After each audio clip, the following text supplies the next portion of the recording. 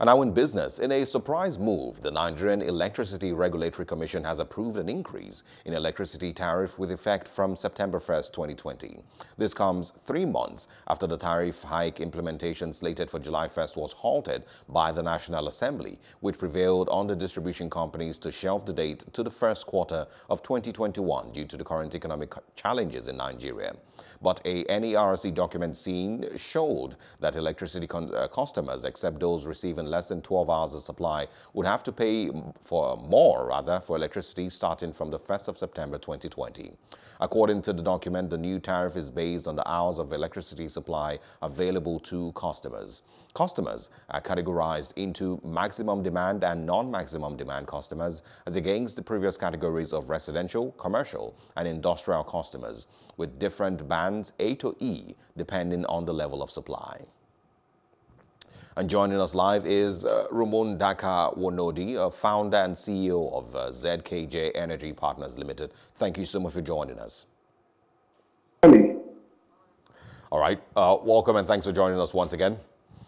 Uh, I'm Thank you very much. I'm going to quickly start with asking. The, the, the, National Assembly, if you remember sometime in June, had stopped the planned increase in tariff plans till 2021.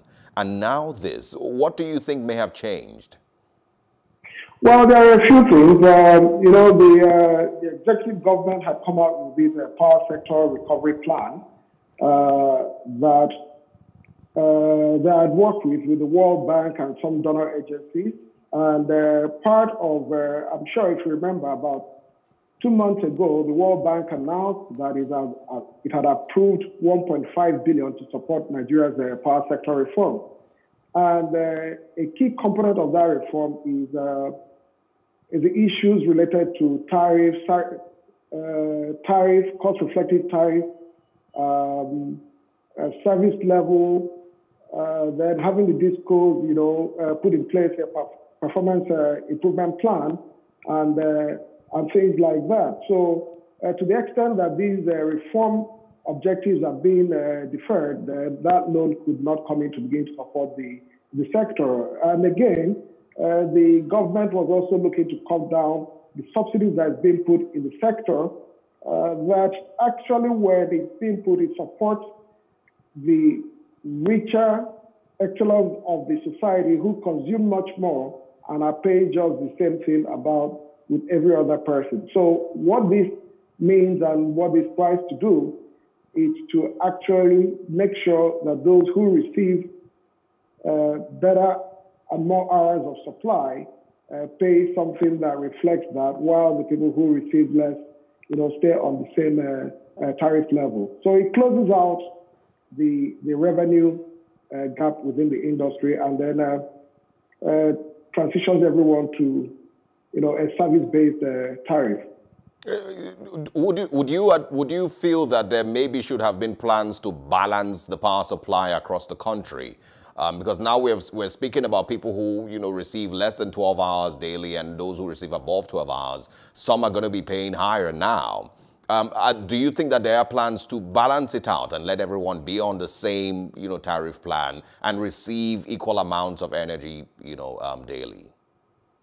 Yeah, I think we, we, we first of all recognize uh, two constraints there.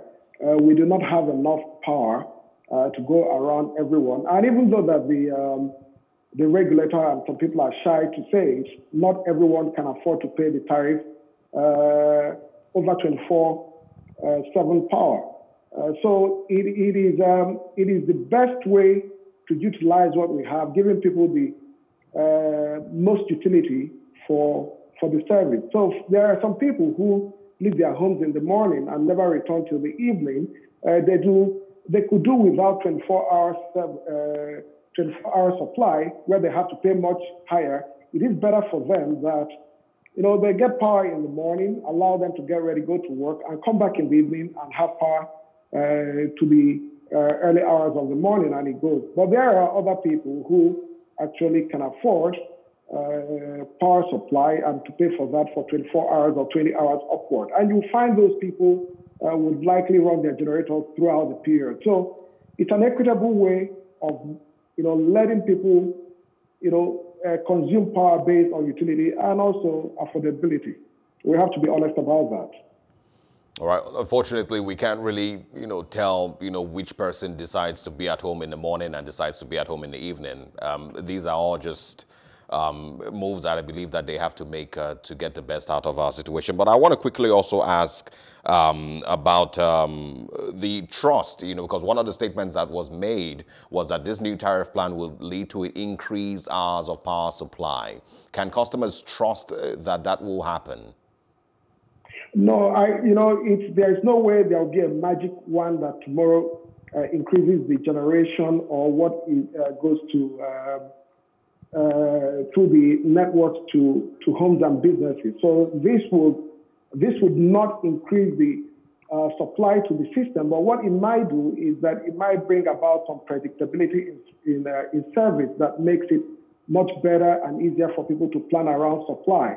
So if I know that I'm going to get eight hours a day, uh, the first thing is when do the eight hour come? You know, because uh, as you know, uh, like I just pointed out, utility uh, is important. Our utility is letting the power come when someone is wherever he is, he can use it. So if you're in the office, you want it to come during the working hours, and if you're at home, you want it to come at the time that you are at home.